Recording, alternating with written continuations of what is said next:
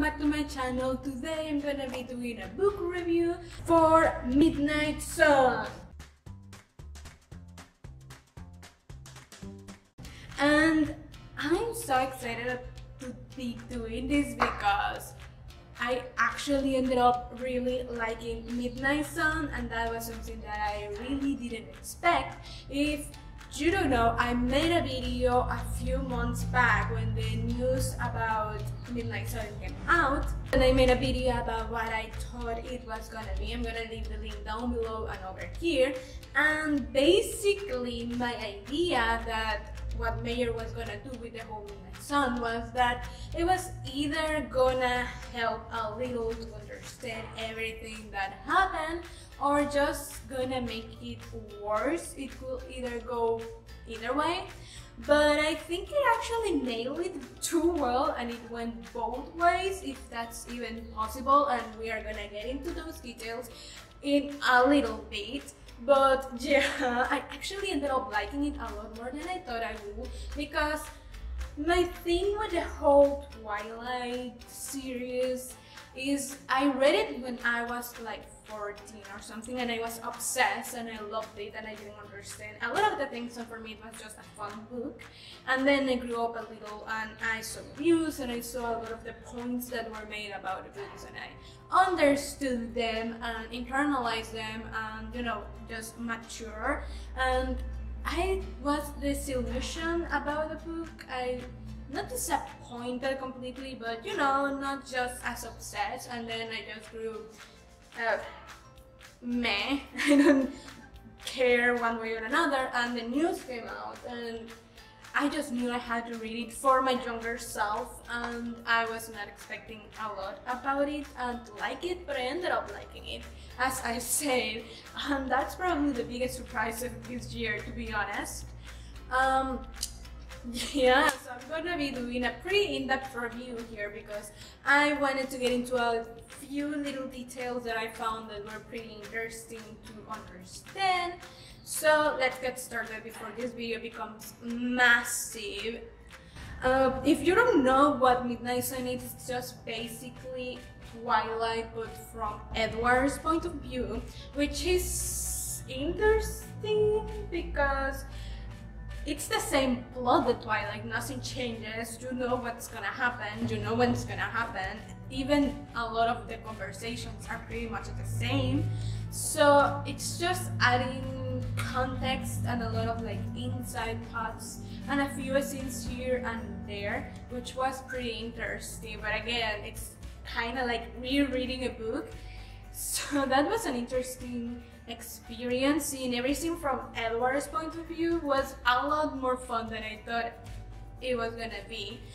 I don't know, just seeing like the thoughts that only he can hear obviously and the little details that therefore only he can hear were really funny at times. I always thought that, that mind reading is just about the worst power ever because there are a lot of things that you don't want to know that people think even if it's a fleeting thought. So yeah, I never wanted to have that, but seeing it from Edward's point of view, it was actually really funny.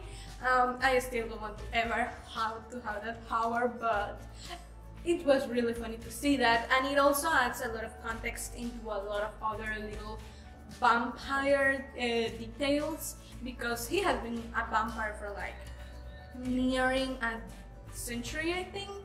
Short, just shy of the century. So there are a lot of things that obviously Bella never knew because of her point of view, and therefore we never really understood or knew, and that he explains that was really, really nice. Um, it clears some stuff, which I think was really, really good because there are just some points that are lost in context and it's nice to finally be able to put into context. And as well how all the scenes with the Cullens, which was probably my favorite part of the book, just seeing all the Cullens interacting. I just love their dynamic. I had forgotten how much I like Emmett and Alice and Carlisle, so that was so much fun. I loved loved any scene that any of the Cullens were in. I don't care who it was. And we have flashbacks, which was a delight all on its own, just seeing the flashbacks of moments that obviously only Edward could know that happened. And uh, it was just so good, especially because we have so much content that it's just gushing, literally gushing on Carlisle. So that was so so nice and so so fun and I really really like all of those little moments and just like we have Rosalie Rosalie Rosalie which is a very complicated character and seeing it from Bella's point of view it's pretty bad we can say until like probably the third book when we start to understand her a little bit more but when we go with Edward's point of view and we see other details and other sides and like all the history there is there, it's so interesting and I actually really understood her and really like her. Not that I didn't understand her before because I did at the end, but now it's completely different seeing things from other sides and that was so fun and so interesting to just get all these other sides and all these other little details that we have I actually liked Bella, Bella's personality um, this time around because I don't know if at this point I'm remembering more the movies than the books because honestly I read the books a long time ago and I watched the movies equally a long time ago. So maybe mixing them but for what I remember Bella didn't have a lot of a personality. At least for me it didn't feel like she had a lot of a personality more than this clumsy girl that we're supposed to really like. But from Edward's point of view she actually had a personality that I liked and that's something that needed to be to be mentioned by me for me because seriously I didn't feel like she had personality before but now suddenly she has all these quirks and little things and I'm like wait a minute when did she have a personality? When did she get a personality? But she did and I really enjoyed that part. Sorry I'm looking at my tablet because um, I have a lot of points to make and I don't want to forget anything. Um, but yeah, seeing Bella with a personality was incredibly fun. It was really interesting to see it all. Um, again, it's not like you get surprised because there are no plot twists, there are not cliffhangers or anything like that because you know how the story ends and everything. It's just kind of fun to see it and I think that's the thing. The book is really fun. Not very deep, but really, really fun to read and to just breeze through because it was just really gripping. And before we continue, I'm gonna say that I'm gonna enter a very spoilery section right now. And it's probably not spoiling the whole plot thing because I think we all have read Twilight before we read Midnight Sun, so it's not a spoiler in that context, but in some little details that were mentioned in the books. And actually, I have some quotes that I wanted to point out to explain my points. So if you don't want to get like spoiled, um, you can skip this, and I'm gonna leave the, the minute where the whole section ends so you can just skip to the end of the video or you can watch it because seriously it's not that bad but you are forewarned if, if you don't want to see that. Anyway, even though it did a lot of things that I liked and enjoyed, there were still all those little things that were not okay that still were there. And even though some were more understandable because, again, we have more insight now, they are still not right. And I just need to talk about them because while I was reading the book, I just, I knew I had to talk about it. And one of those, and probably the cross, the crux of this whole thing, it's the love story, which is arguably the biggest part of the book and of the series because it may be paranormal or whatever, but it's very much a love story and a romance.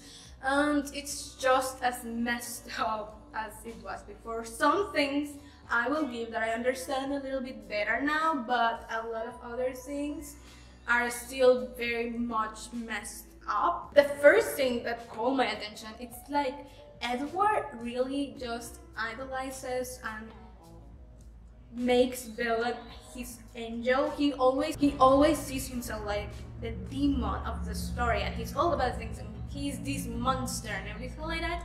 But he idolizes Bella and just sees her good qualities, her good traits. And I'm not saying that she cannot be this kind person or whatever, but he literally doesn't see like almost anything but maybe one thing that she's like a stubborn or everything else that Bella does is like oh Bella she's so perfect she's beautiful let's just worship there the soil the path that she walked because she's an angel that kind of thing and that's just wrong for a start of a relationship because every person has wrong parts that you need to accept that you need to love as well as the, the good qualities that you like the best. Like literally and i'm gonna just give one quote and it has like five or six of these ones and it says kind and self-effacing and unselfish and brave she was good through and through.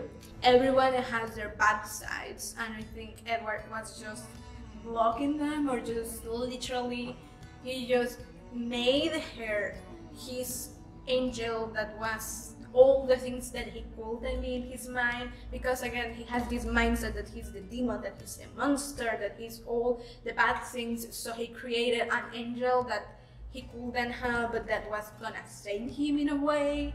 And it's just because of the mindset and that was it caught my attention. It's not the most terrible thing or disturbing or anything but i do think that it's something that just not how you should see a person.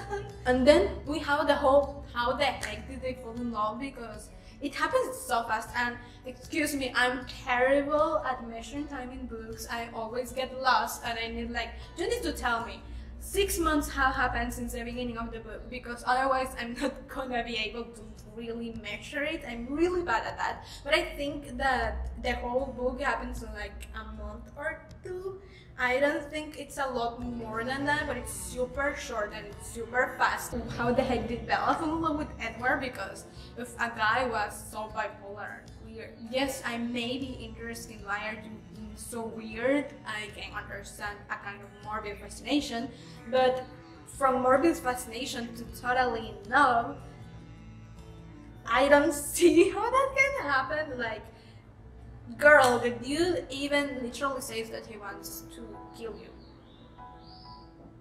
Why didn't you run in the other direction?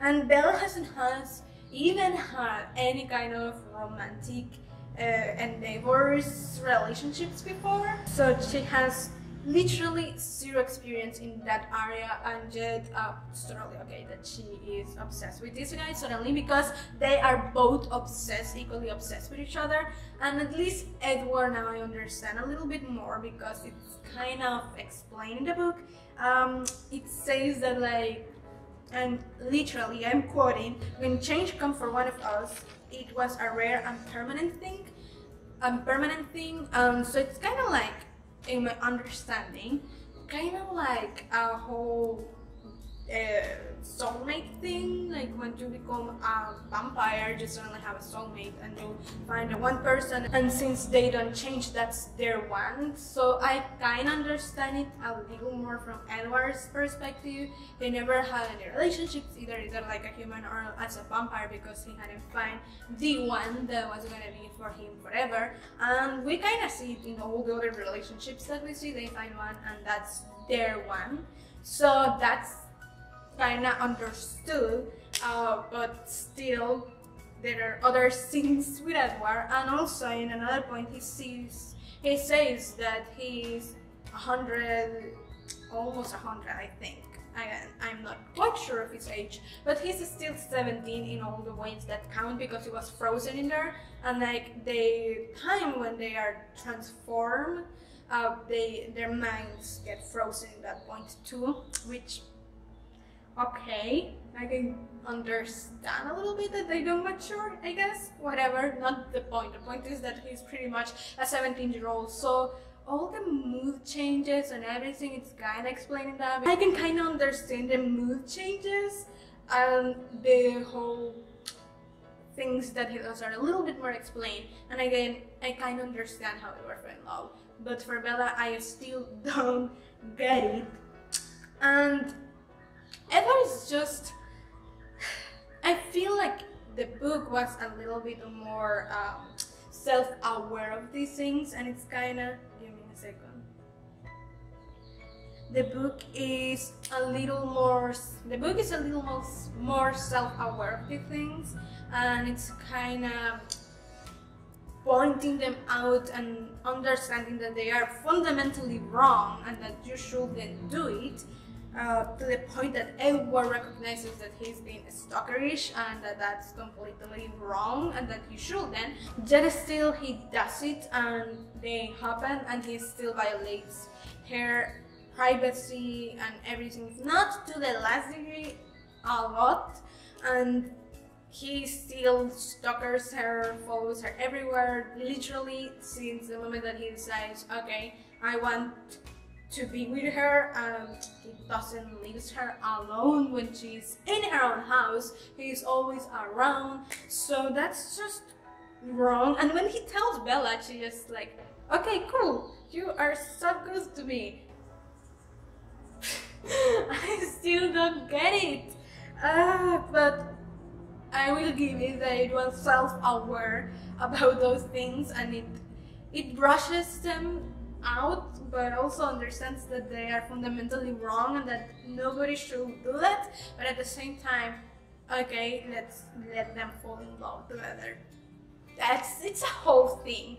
The relationship is just like that. It's codependent and it's still pretty toxic. Edward is still super controlling and that's something that is not uh, addressed at any point. There is this quote that I was just so I cringed so hard when I read it, and it just says, "I frowned to myself. What Bella wanted and what was best for Bella were two very separate things." Excuse me? You may think that you know what's best for someone, but you still need to respect what they want to do, even if what they want to do is stupid and it's dangerous and it's not the best decision, it's their decision. You cannot just override someone's decision because you think that you know better. No, that's just that one I do not I can't get over and yeah. Yeah, it's just the crux of everything for me and I just I just can't with it and the point is that Bella even kind of realizes that something is not completely how it should be a relationship. She even stays towards the end of the book, but it just seems logical. A man and a woman have to be somewhat equal, as in one of them can always be swooping in and saving the other one. They have to save each other equally, which I think was a super pretty quote. And she realizes this, and yet continues to do absolutely nothing about it. Like it's good that at least she's realizing this, but you should also do something about your relationship when you realize that it's not like that. That's pretty much about their relationship and all the things that at least it's a more self-aware book about all the things or the majority of the things which I appreciate because it needed to be addressed and it's been so long that I've seen most people have pointed everything out of these things. So either Meyer took that into account and decided to at least I'm gonna make it self-aware and I'm gonna make sure that they know this is not right. Or whatever point she tried to make it, I think it was well worth it. It couldn't change the search, couldn't change how things went. It, it was written already, but it does stand a little bit better for 2020 I think even though it's still there and it's still happening um, it's what it is I suppose. But yeah so if you read the book in good fun and you know what you're gonna find you know that it's not the best thing romantically speaking and you know that you don't have to like idolize or think that this is the model relationship or anything like that. It's actually really fun to read. It's lighthearted and it's pretty engrossing. I don't know how Meyer did it, but she created a world that it's really engrossing and that just sucks you in and never lets you leave because either you love it or you hate it or whatever you are doing with the book or you're criticizing it whatever you are talking about it and i think that just proves a point that everyone got obsessed with it at some point so that just really tells you the power of this world whatever you think about it you thought you talked about it most likely so that's really interesting and it still holds true. I started the book and I couldn't put it back. I couldn't put it down. And I was not expecting that. It was amazing and it was delightful and it was just so fun to read, so lighthearted. And it brought all these memories and all these thoughts and feelings back and it was just so nice that and now I actually kind of want to read all the other books from Edward's point of view. So That's something I never thought I would say, but I'm definitely back into the Twilight Twilight wagon, if you can say like that. Um, not obsessed like when I was a child, but definitely interested into it, and I will read more of it. I even want to kind of reread the books, and that's something I never thought I would say. so that definitely something, and I think these books are really more like a comedy, romantic comedy, than a supernatural epic kind of thing. and it's just what it is. And if you take it like that, and if you are really on the known of what you're gonna find, you're just gonna enjoy them really much because it's really easy to enjoy them. So this was my little rant about Midnight Sun. About Midnight Sun, I enjoyed it a lot. I think if you love Twilight, at some point you should read it. It's a nice book. Um, I hope you enjoyed it. I had a lot of fun reading the book and compiling everything to do this massive video because I'm sure it's gonna be really long. But yeah, comment down below if you liked Twilight and when you read it, what it meant to you because I think it meant something for all of us at some point that was very special. And you know, if you like the video, don't forget to give it a big thumbs up, subscribe if you haven't already, and click the little bell icon to get notified every time I post a new video. And I'll see you next week. Bye!